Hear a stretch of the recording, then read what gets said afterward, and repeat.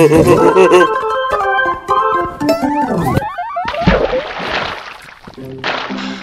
topic for today is water pollution.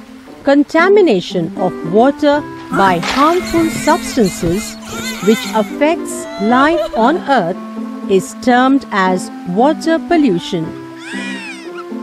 Due to human activities, our water is getting more and more polluted day by day. Household garbage is disposed into various sources of water. Many people perform their domestic activities like bathing, washing clothes and utensils, ah. etc. in these sources of water. La la la la la la la la.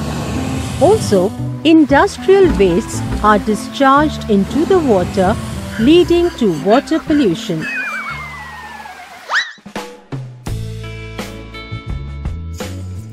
Hmm. Consumption of this polluted water leads to diseases like cholera, hmm. typhoid, diarrhea, oh. etc.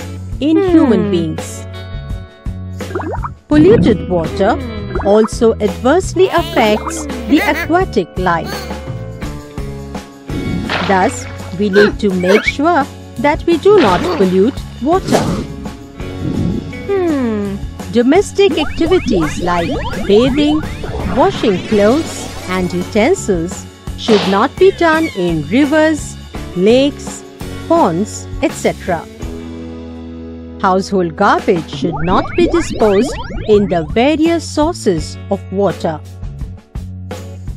Also, sewage and industrial wastewater should be treated before discharging into the water.